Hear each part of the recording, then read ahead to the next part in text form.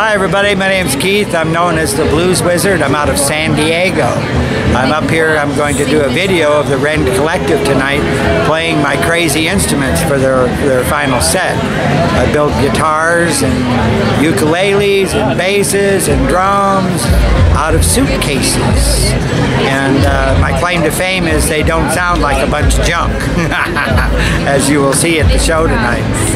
So yeah, I excited about being having them being close enough to my home to where I could drive up here. How did you hook up with Rend Collective?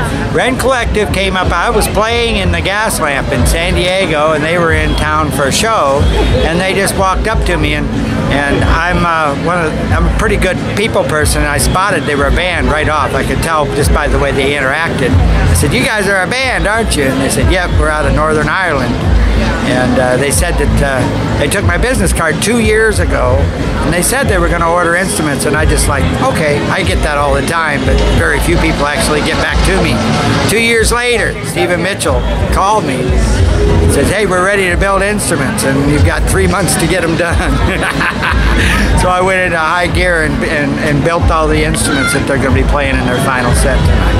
Well, mostly recycled materials. I, uh, I'm always looking for broken instruments. Uh, I use uh, suit, obviously I've used suitcases that are out of the 20s, 30s, 40s, and 50s mostly. Uh, sometimes I build my own necks, and usually when I do that, I have a collection of recycled wood.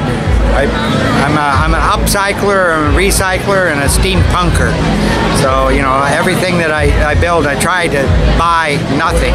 I try to use recycled material whenever possible. And, uh, yeah, it's fun. You have a website, Facebook page? Actually, it's it's almost up. Facebook is Keith Edward out of San Diego. The new website is going to be blueswizard.rocks. It's going to tie everything together. So blueswizard.rocks is the new website. It should be up within a week.